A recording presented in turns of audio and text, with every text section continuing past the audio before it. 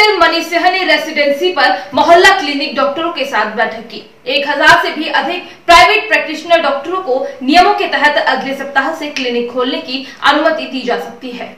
देखिए जो शहर में, जो ग्राउंड लेवल पे जनरल प्रैक्टिशनर्स क्लिनिक्स हैं लगभग हज़ार डेढ़ हज़ार ऐसी क्लिनिक्स होंगी और वो बहुत बड़ी ताकत है शहर की। जो अगर अपन चिकित्सा जगत की बात करें तो ग्राउंड लेवल पे एक पिरामिड रूप का है और बेस में जो ये जनरल प्रैक्टिशनर्स के एसोसिएशन से आज मीटिंग की हम लोगों ने, इनके डॉक्टर्स का पेनिट्रेशन पूरे शहर में है। इनसे हम लोग मीटिंग करके इनसे रिक्वेस्ट किया है। इनकी भी इच्छा है कि हम कंट्रोल्ड वे में क्लिनिक्स को कैसे प्रारंभ कर सकते हैं।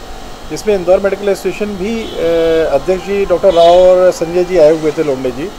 और इन निर्णय यही हुआ है कि ये लोग डॉक्टर्स से बैठ करके क्या स्टैंडिंग ऑपरेटिंग प्रोसीजर से सुरक्षा के, उसको पूरा तैयार करेंगे। किस प्रकार से क्लिनिक जब खोलें तो क्या सावधानियाँ रखनी है? डॉक्टर्स को क्या सावधानी रखनी है? जो पेशेंट्स आ रहे हैं, कैसे उनको बुलाना है? कैसे सोशल डिस्टेंसिंग के नॉर्म्स को पालन कराना है? और कैसे फ़ोन पे बुकिंग देनी है? फ़ोन पे समय देना है। कुछ समस्या ये भी थी कि सभी पेशेंट्स फ़ोन पे नहीं आ पाते हैं। उसको कैसे रेगुलेट करना है? उसके लिए भी हम लोग व्यवस्था कर रहे हैं। तो ये ग्रेजुअली, ये हम लोग का इंटेंशन है कि ये क्लिनिक्स खुलें। इससे सावधानी, क्योंकि इस शहर में दो अच्छे डॉक्टर्स थोड़ा लापरवाहियों की वजह से क्लिनिक में जो लापरवाहियाँ हुई, उसकी वजह से जान गंवा चुके हैं तो वो भी सावधानी हम लोग को रखनी है। और उसकी सतर्कता, सभी डॉक्टर्स जो आए थे, सब में थी भी सतर्कता हुआ। इन डॉक्टर्स के माध्यम से बहुत हेल्थ के बारे में बहुत ज़्यादा सुधार की बात अपन सोची जा सकती है।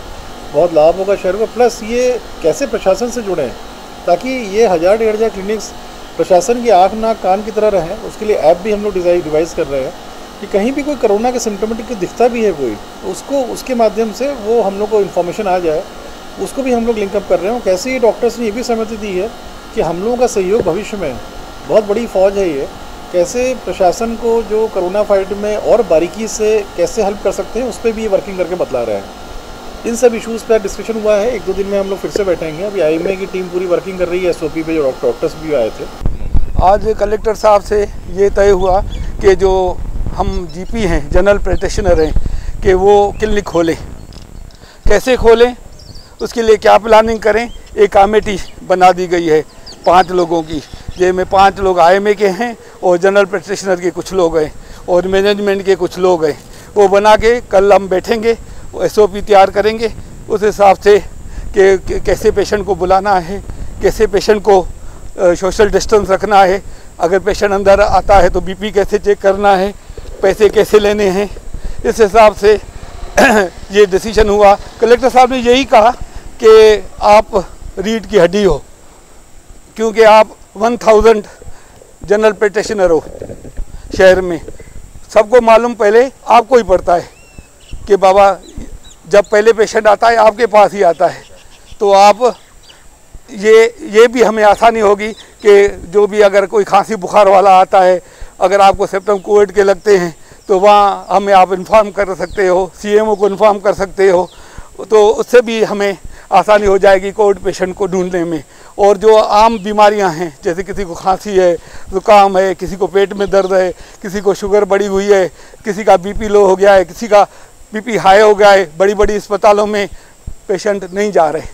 उनको उनको डर लगता है कि वहाँ कोविड के पेशेंट ना हो उनका खर्चा इतना आता आप पचास सौ तो हमारी यही प्लानिंग है कि हम पेशेंट जैसे भीड़ होती आती थी, पचास सौ, डेढ़ सौ पेशेंट आते थे।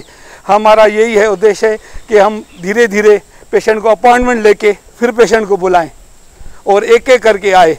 उसे किसी को हमने नौ बजे का टाइम दिया तो साढ़े नौ बजे तक दूसरा देखेंगे। हर आधे आधे घंटे में हम पेशेंट देखेंगे। तो हर एरिया में हमारे डॉक्टर हैं और हर आदमी अगर 10-20 पेशेंट भी देखता है तो बहुत आसानी होगी, उनको फ़ायदा मिलेगा और जो भी आम बीमारियाँ हैं, वो उससे सही